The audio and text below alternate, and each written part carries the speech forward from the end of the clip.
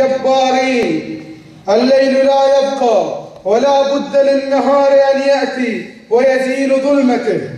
يعاني الشعب البحراني الصامد من هذا النظام المستبد العديد من البلايا والمصاعب والمحن وتاريخه وتاريخ نضاله طويل ومرير وكل ذلك في سبيل نيل حريته وكرامته.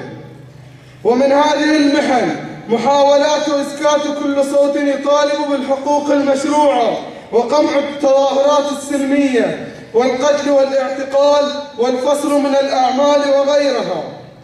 إلا وأنه هناك مصيبة عظمى تصيب شريحة كبيرة من شعبنا الصامد ولكن قد لا يشعر بها الكثيرون أو تكون خافية عليهم.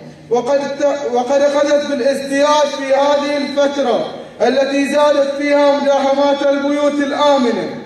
نعم إنها محنة المطلوبين والمطاردين والملاحقين الذين لا يجدون ملجأ حتى يريحوا أجسامهم فيه عوضا عن النوم والشعور بالأمان.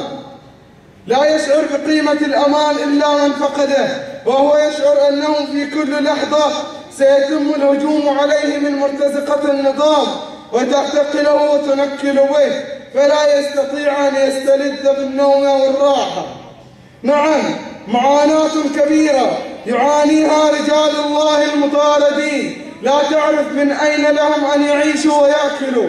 لا, لا يستطيعون حتى التواصل مع أهاليهم أو رؤيتهم. وزد على ذلك محنة. أن لم يجدوا من يأويهم أو يحتضنهم خوفا من النظام أو لأي سبب آخر. قل, قل لربك ماذا عساهم أن يفعلوا وأين يولوا وجوههم؟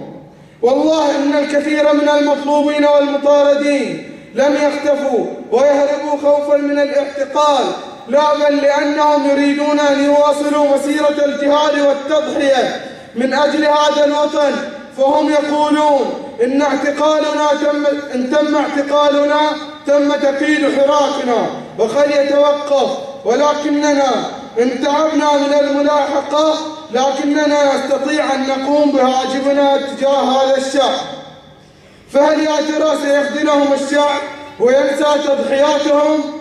هل سنرفض مساعدتهم؟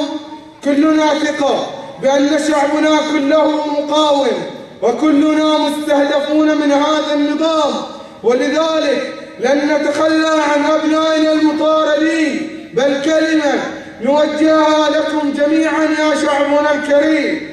لا تنتظروا من مطلوب أو مطارد أن يفتح وجهه عليكم للمساعدة.